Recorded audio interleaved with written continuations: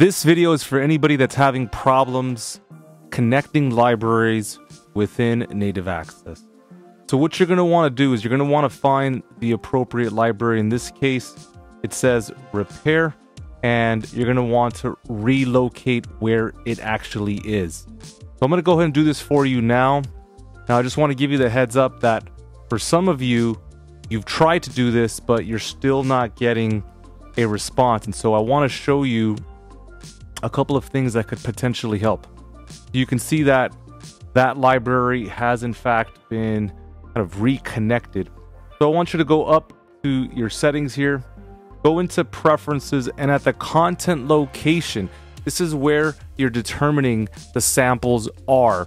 Now let's say you're going through a big transition and you had them in one external drive and now you're trying to kind of move on to another one, you're going to have to make these slow decisions. So for example, right now I'm sending everything over to samples.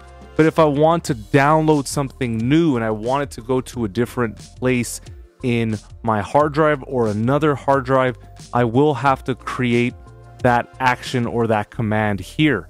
So just a quick example, right now I'm downloading all of the Kontakt libraries. Once I'm done with this, I'm going to send all of my Maschine samples to a separate part of my computer. So the last thing I want to say, if you're not able to, to rectify this, is you're going to have to go into your system preferences under security and privacy, and you're going to have to give native access the full disk access. This is the way that I was able to fix the issues that I was going through. Once you do that, you can either relocate and create that connection once again. Worst case scenario, you can go ahead and just reinstall everything all over.